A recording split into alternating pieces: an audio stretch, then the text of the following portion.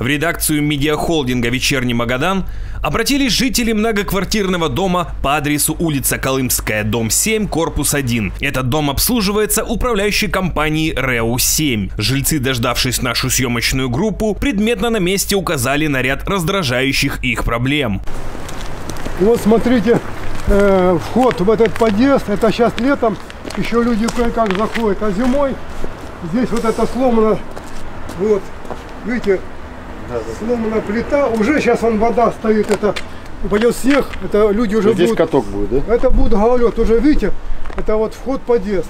Вот смотрите, в каком состоянии вот дом, это вот видите, плесень уже в квартиры проходит, он под подоконниками, это ужасно просто. Да вот здесь вот оно видно. Дом сдан в 97 году. 24 года ни разу не белили, не делали. э, Это, это, это же текущий ремонт, это все можно было сделать. И тем более такие деньги снимают.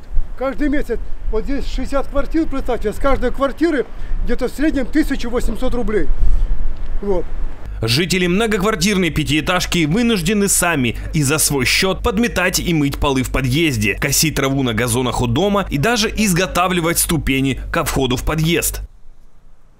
Вот это вот крыльца не было. Это вот крыльцо я сам э, привез материал.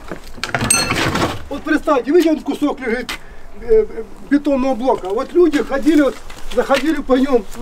Это я только купил квартиру. Вот. Смотрю, ну как так можно заходить? Она холодная с ноября месяца, э, ноября месяца 2020 года.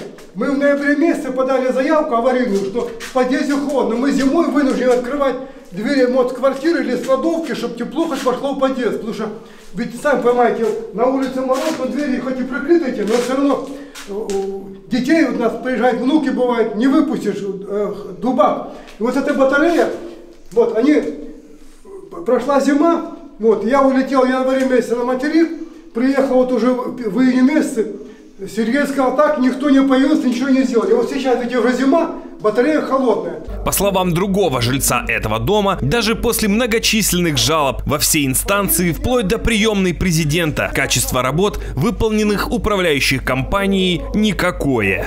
Э, Я здесь живу с 2003 года, вот, проживаю. Мы еле-еле э, упросили РЭУ-7, я не знаю, они так быстро сделали здесь у нас ремонт, вот, э, покрасили, побелили, потому что у меня сосед, э, Резниченко Александр, вот, он э, с 48-й квартиры, он э, забросал бумагами, чтобы сделали хотя бы ремонт, потому что до этого, э, тут простые катакомбы были.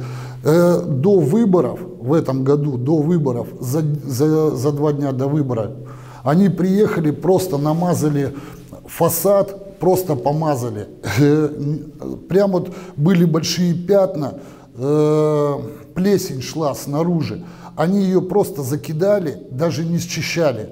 Жители дома с их слов годами не могут встретиться с руководителем РЭУ-7, так как в приемной управляющей компании им отвечает, он очень занятой человек. А пока руководитель управляющей компании занят, жильцы сами моют полы, очищают подходы к подъезду от снега, косят траву у дома и исправно за это платят. Просто вот на дом посмотришь, весь обшарпанный. Это издевательство какое-то. Вот.